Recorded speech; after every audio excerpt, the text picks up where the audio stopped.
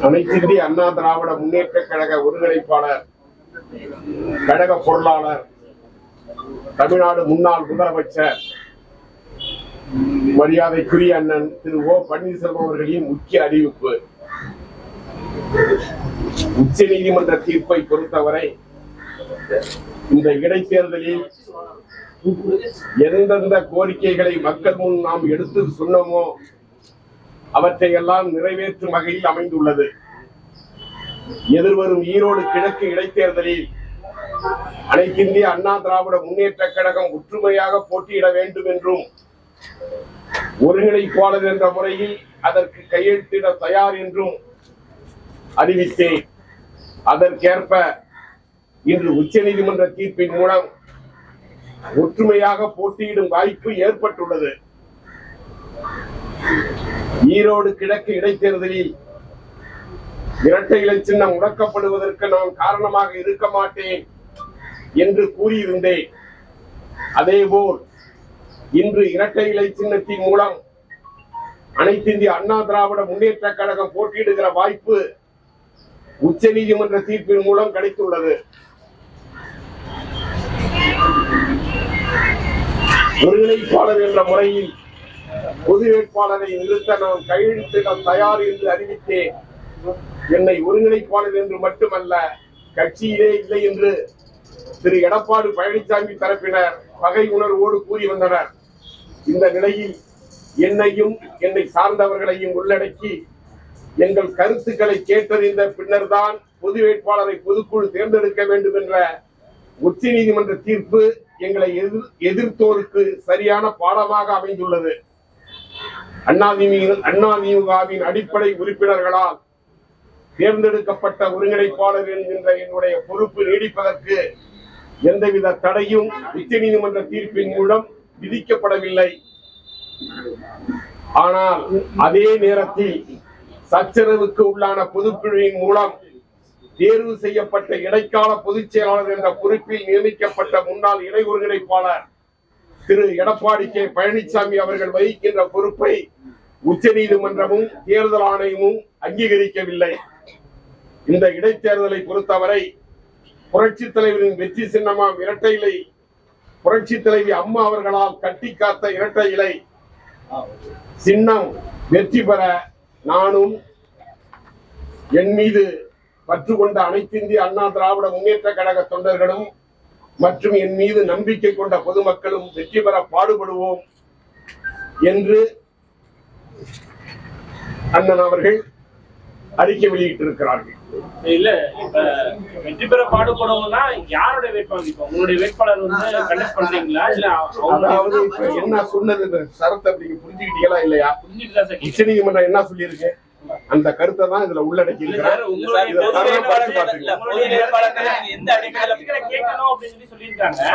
உங்களுடைய கருத்துக்கள் வந்து அவங்க சைடுல இருந்து கேட்டிருக்காங்களா? இல்லையா? அதாவது பொதுக்குழு நியமிக்கின்ற வேட்பாளர். அது என்ன தீர்மானிக்கப்படவில்லை கேட்பார்களா கேட்கவில்லையா என்பதை பொறுத்து வந்து பார்க்கணும். விண்ணப்பம் கொடுக்கப்பட்டிருக்கு. தமிழ் மோகன் மூலமாக அவைத்தலைவர் மூலமாக விண்ணப்பங்கள் கொடுக்கப்பட்டு அதுக்கான கால அவகாசமும் நிர்ணயிச்சுட்டாங்க. அப்படி இருக்கும்போது உங்கள்ட்ட கேட்கல அப்படின்னு சொல்றது ஒரு முரண்பாடு இன்னும் அவகாசம் இருக்கு. இல்ல உங்களுக்கு அந்த தகவல் வந்துருச்சு? அந்த விண்ணப்பங்கள்லாம்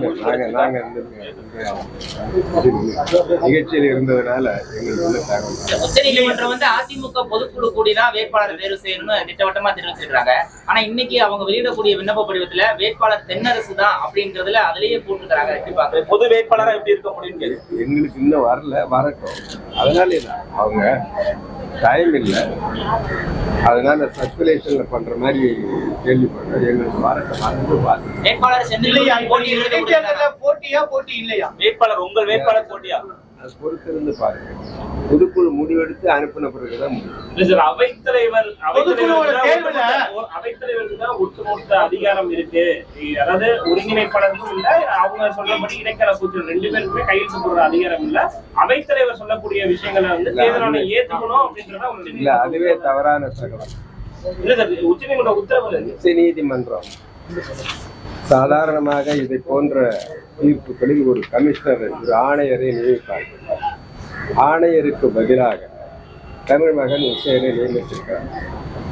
பொதுக்குழுவினுடைய தீர்மானத்தை அவர்கள் அனுப்பும் அவர் எடப்பாடியா அவங்களா இருப்பவர் தமிழ் மகன் உசேன் உச்ச நீதிமன்றத்தால் நியமிக்கப்பட்டிருக்கிற ஆணையராக. சார் இப்ப விண்ணப்ப படிவம் கொடுக்கப்பட்டிருக்கு. விண்ணப்ப படிவம் கொடுக்கப்பட்டிருக்கு. அப்படி இருக்கும்போது பொதுக்குழு கூடல அப்படின்றத உறுதி செய்ததாகவே எடுத்துக்கொள்ள முடியும்ல? முடியாது ஏன்னா இல்லை டைம் இருக்குது நாங்கள் நாங்க மட்டும் போட்டிருக்கோம் வேறு யாரும் கூட பொதுக்குழு கேட்கலாங்க. வேற வேட்பாளர் போடலாம். யார் வேணாலும் எங்களுக்கு வாய்ப்பு கொடுங்கன்னு கேட்கலாம் அதனால பொறுத்து இல்ல தமிழ் மகன் ஹுசேன் தான் பொறுப்பாளரா நீதிமன்றம் நியமிச்சிருக்கு. அவர் தான் லெட்டர் அனுப்புறாரு வேட்பாளர் தென்னரசுன்னு சொல்லிட்டு. அதனாலதான் கேக்குறோம் அவர் வந்து எடப்பாடி பழனிசாமிக்கு ஆதரவா இருக்கிறாரா அந்த மாதிரி ஒரு அப்படி ஒண்ணு இல்லப்பா தவறா சொல்றீங்க. நாங்க இன்னும் பார்க்கல. இல்லையா? இப்ப நீங்க அவர் நியமனத்துக்கு வந்து நீங்க நேற்று உச்ச நீதிமன்றத்தை எதிர்ப்பு தெரிவிச்சுக்கலாம்ல இல்ல, இல்ல. அவைத்தலைவர் தலைமையில வந்து இது கொஞ்சம் காப்பி இருந்தா கொடுப்பா. காப்பி பார்த்துட்டு தான் கேக்குறோம் இல்ல இல்ல.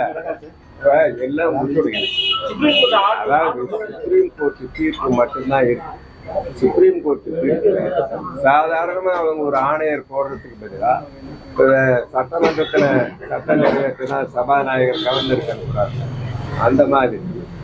பொதுக்குழுவில் என்ன தீர்மானம் யாரை நியமிக்கிறீங்களோ அதை தமிழ் மகன் உசேன் தேர்தல் கமிஷனுக்கு அனுப்புவார் அதுதான் அவருடைய வேலை.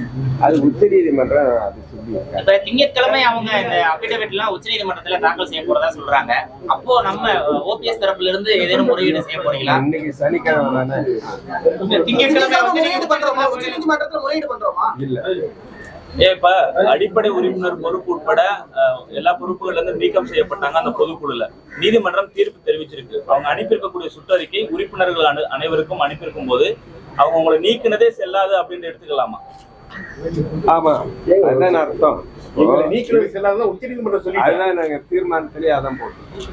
நீக்கணும் கட்சியே இல்லை அப்படின்னாங்க.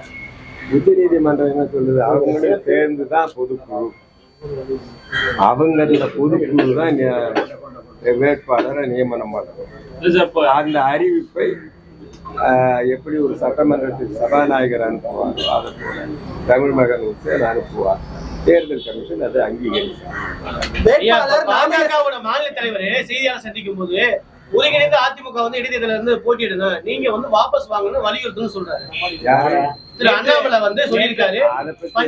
உங்களுக்கு அதை தரப்பட பற்றி எங்களுக்கு க- அவர் சொல்ற பற்றி கருத்து பற்றி நாங்கள் ஒன்று சொல்ல விரும்புகிறோம் இல்ல அவர் வெளிப்படையா நாங்க சட்டப்படி போறோம். உச்ச நீதிமன்றம் என்ன சொல்லி இருக்கிறதோ அதன்படி சார் அது அதிமுகக்குள்ள நீங்க சட்டத்தின்படி போறீங்க. கூட்டணி அப்படின்னு பார்க்கும்போது நீங்க வேட்பாளர் திரும்ப பெற்றுக்கொள்ளணும் ஓபிஎஸ் சொல்லியிருக்காரு. கூட்டணியோ அதிமுகவோ அல்ல.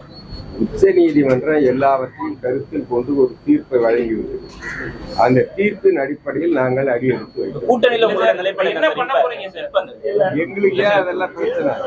இன்னும் டைம் என்ன பண்ண போறீங்க? அதாவது வந்து உச்சநீதிமன்ற உத்தரவுப்படி நாங்க பின்பற்றி என்ன பண்ண போறீங்க சார்? அப்ப இறுதி வேட்பாளர் வேட்பாளர் பட்டியல் வரட்டும். அதுக்கு பிறகு அதாவது பொதுக்குழு யாரை தேர்ந்தெடுக்குதோ அவர்களை நாங்கள் இரட்டை சின்னத்தில் யார் நிற்க- இரட்டை இலை சின்னத்தில் யார் நிற்கிறார்களோ அவர்களை ஆதரிப்போம். அது யாரா இருந்தாலும் சரி. அதாவது இபிஎஸ் ஓபிஎஸ் இல்ல. அதிமுக சார்பில் இரட்டை சின்னத்துல யார் நிற்கிறார்களோ அவர்களை நாங்கள் ஆதரிப்போம். பொதுக்குழுவை கூட்டுறதுக்கான கால அவகாசம் இல்லைன்னு தான் சொல்றாங்க. இன்னும் ஒரு ஒரு நாள் தான் இருக்கு. இப்ப மாற்று ஏற்பாடு என்ன பண்றதா இருக்கு சுப்ரீம் கோர்ட் என்ன சொல்றாங்க பை சர்க்குலேஷன் எடுக்கலாம்னு சுப்ரீம் கோர்ட்டே சொல்லியிருக்காங்க. அதாவது கால கால அவகாசம் இல்லை என்பதை கருத்தில் கொண்டு பை சர்க்குலேஷன் கூட நீங்க இதை பண்ணலான்றது சுப்ரீம் கோர்ட் தீர்ப்பிலே தெளிவா இருக்கு. இல்ல சார் இப்ப உங்களுடைய கருத்து வந்து கேட்டுட்டு தான் வந்து முடிவெடுக்கணும்னு இருக்காங்க. உங்களுடைய இது இது வரைக்கும் உங்கள்ட்ட வந்து அந்த கருத்துகள் கேட்கல. உங்களுக்கு ஏதோ அந்த அபிடேவிட் அனுப்பிச்சிருக்காங்களா? இப்ப உங்க நாலு பேருக்கு உச்ச நீதிமன்றம் எங்களுக்கு அனுப்ப சொல்லி உத்தரவிட்டு இருக்கிறது எங்களுக்கு வரல. வந்து ஒண்ணு டைம் இல்ல அவ்வளவு இந்த இந்த உத்தரவுன்றது வந்து இடைக்கால உத்தரவு தான். இந்த தேர்தலுக்காக போடப்பட்ட போடப்பட்ட உத்தரவுன்னு தெளிவா சொல்லியிருக்காங்க. அந்த வழக்குல அதே நிலைப்பாட்டுல தானே சார் அதுல அதே நிலைப்பாட்டுல தான் இருக்கிறோம். புதுக்குழு வந்து செல்லாதுங்கிற நிலைப்பாட்டுல இன்று வரை இருக்கின்றோம். இல்ல அது அப்படியே இருக்காது. இந்த நீதிமன்றம் மறுபடியும் முன்னுதாரணமாக எடுத்துட்டு இது இந்த பிரச்சனையை கையாண்டது மாதிரி அந்த தீர்ப்பை எடுக்கிறதுக்கு வாய்ப்புகள் இருக்குல்ல? அது நீதிமன்றம் எடுக்குமா எடுக்காதாங்கிறது யாருக்கு தெரியும்? அதாவது நீங்க இதை ஒத்துக்கொள்ளும் பொழுது உங்களுடைய வேட்பாளரை நாளைக்கு நடக்க போறதை நீங்க சொல்ல முடியாது. இல்ல, வேணாலும் நடக்கலாம். நீதிமன்ற தீர்ப்பை எதிர்க்கவும் செய்யலாம் ஆதரிக்கவும் செய்யலாம். எங்களை பொறுத்தவரையில் நாங்கள் எந்தெந்த கோரிக்கைகளை முன்வைத்தோமோ அவற்றில் பெரும்பாலானவற்றை நீதிமன்ற தீர்ப்பு ஏற்றுக்கொண்டிருப்பதனால் ஆதரிக்கிறோம் உடனுக்குடன் செய்திகளை அறிந்து கொள்ள ஐஎஃப் தமிழ் பெல் ஐக்கனை கிளிக் செய்யுங்கள்.